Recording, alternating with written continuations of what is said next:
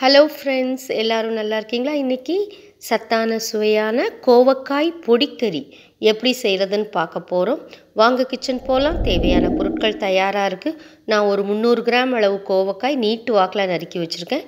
நீங்கள் round ரவுண்டாகவும் cut பண்ணிக்கலாம். ஒரு மேஜை கரண்டி எண்ணெய் அரை தேக்கரண்டி கடுகு ஒரு தேக்கரண்டி உளுத்தம்பருப்பு ரெண்டு மிளகாய் வத்தல் கொஞ்சம் கருவேப்பிலை கிள்ளி போட்டிருக்கேன்.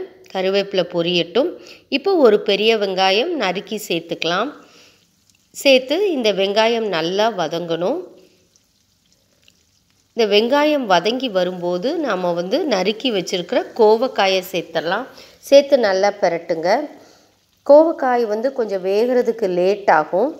நீங்கள் கோவக்காய் வாங்கும்போது கொஞ்சம் பிஞ்சு கோவக்காயாக பார்த்து வாங்கணும். இது கொஞ்சம் முத்தலாக இருந்ததுனால கொஞ்சம் வேக எனக்கு லேட் ஆச்சு.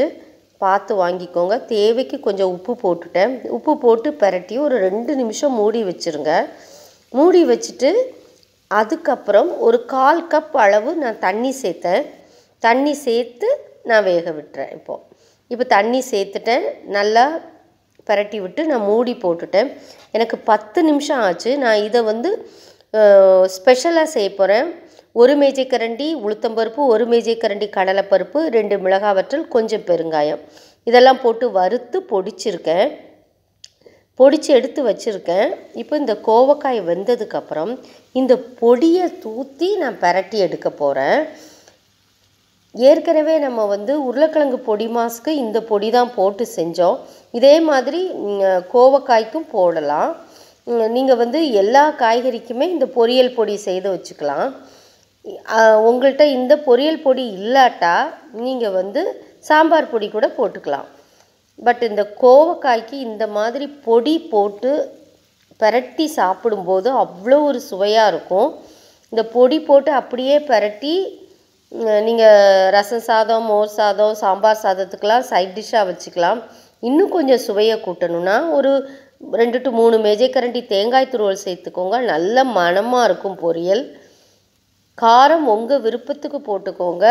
ஒரு மேஜைக்கரண்டி உளுத்தம்பருப்பு ஒரு மேஜைக்கரண்டி கடலைப்பருப்புக்கு ரெண்டு மிளகாய் வற்றலே போதுமானதாக இருக்கும். இப்போ வந்து பொடியும் போட்டு தேங்காயும் போட்டு பரட்டி கொஞ்சம் மல்லிக்கீரையும் போட்டாச்சு. அட்டகாசமான கோவைக்காய் பொடிக்கறி தயார். இது லஞ்ச் பாக்ஸ்க்கு சைட் டிஷ்ஷு கொடுத்து விடுங்க.